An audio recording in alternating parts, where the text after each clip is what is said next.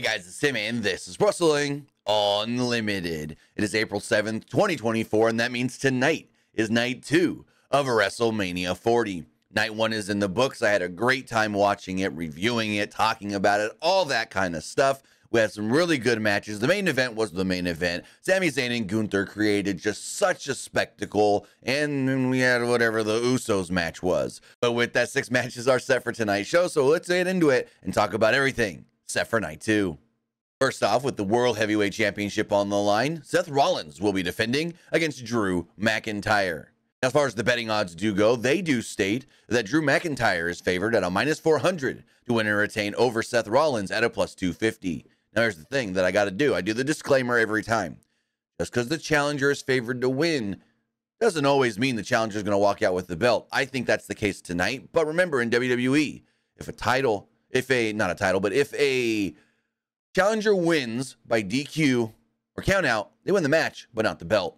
We learned that all not too long ago, really, with Chad Gable. As far as our predictions do go, Luke and I both said Drew McIntyre. Moving forward, the WWE Women's Championship will be on the line when Iyo Sky defends against Bayley.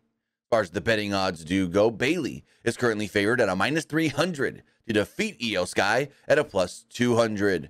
I think this one's super obvious. Luke and I both said Bayley walking out your new WWE Women's Champion. I mean, the story's been good, really, really good, if not great. So we'll see how it all does play out tonight. Moving forward, we do know that there's a triple threat the United States Championship. Logan Paul will be defending against Kevin Owens and Randy Orton. As far as the betting odds do go, Logan Paul is favored at a minus 375 over Kevin Owens at a 350 and Randy Orton at a plus 425. Now, these are, I want to say, the only predictions that Luke and I said different.